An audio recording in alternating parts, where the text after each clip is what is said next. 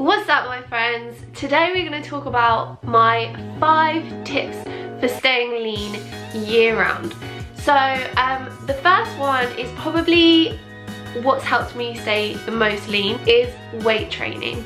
Building my muscles and changing my body composition has solely been down to lifting weights.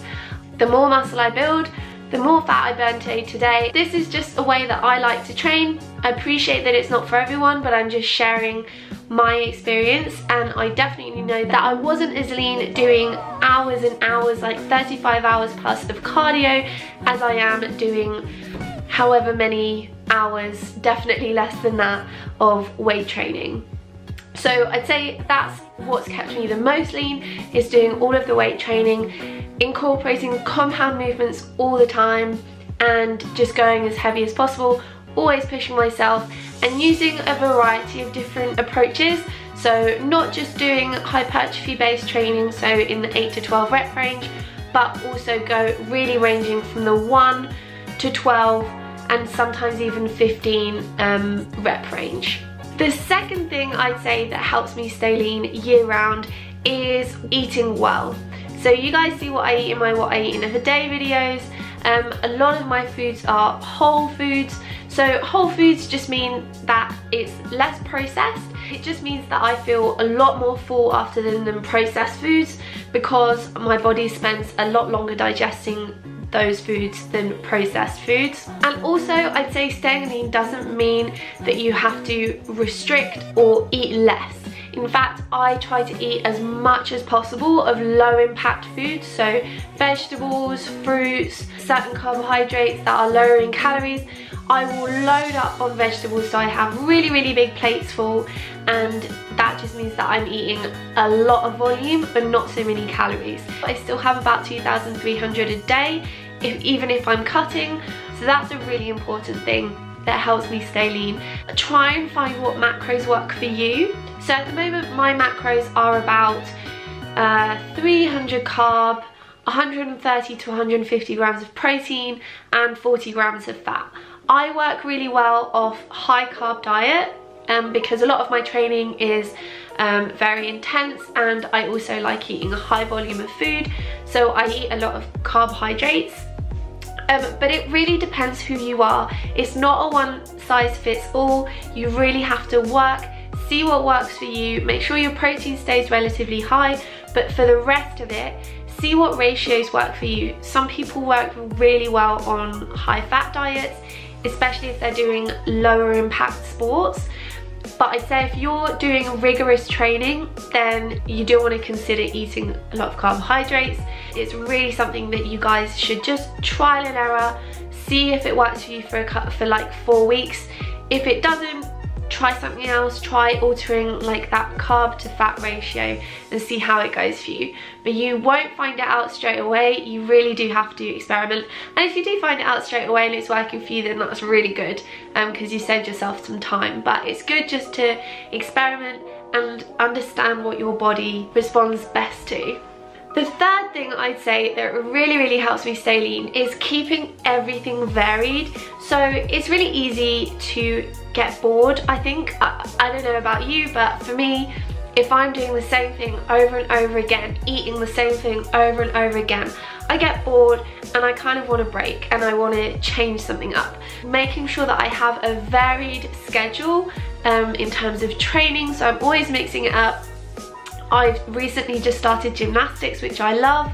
Um, but previously I've done like athletics and triathlon, you guys know that. And in terms of nutrition, I think from like what you see in my what I eat in a day videos, I show quite a lot of different recipes.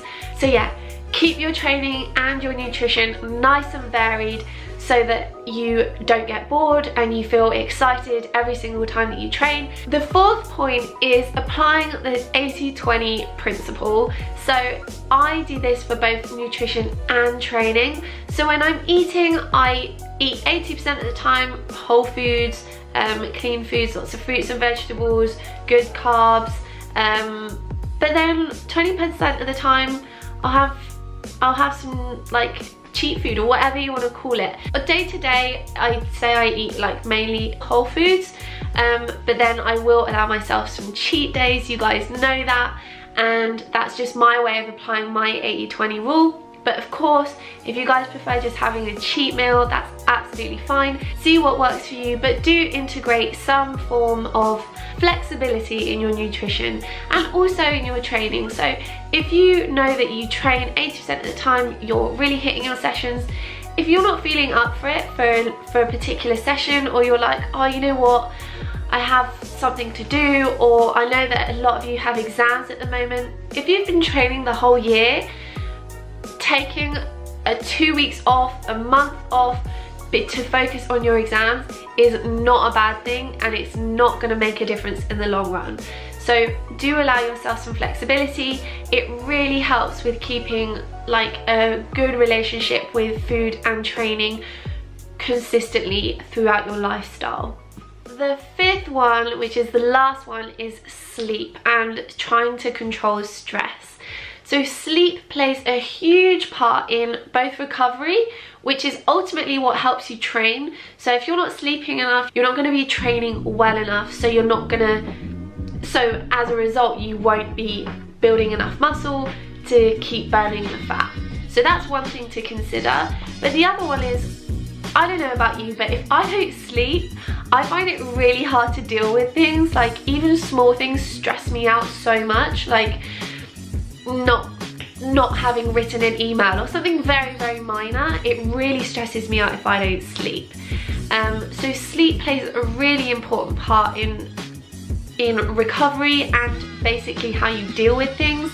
It also has a huge impact on your hormone system. So one of the hormones that it can impact are your hunger hormones. So if you reduce your hours of sleep, you will decrease your leptin levels. Leptin is the hormone that makes you feel full. If you don't sleep enough, ghrelin will increase and ghrelin is a hormone that makes that stimulates you to feel hungry. So as well as not feeling full, you're also going to be feeling more hungry and as a consequence you'll end up eating more even though your body doesn't necessarily need it. It's just because you haven't had enough sleep. The other thing that it controls is cortisol. I mean, there are so, so many hormones that play a part in this, so I'm really just picking at the surface. But cortisol is considered as your stress hormone. In small bursts, it's very, very good. But if it's elevated for a long period of time, and this can be due to lack of sleep and also stress, um, then it can actually react with other hormones and cause you to store fat. Um, and also makes you like retain more water and stuff like that. So it's really important for you guys to sleep and to try and manage your stress levels. So those are my five top tips. And then one last thing to keep you on your way is to realize that we are all human.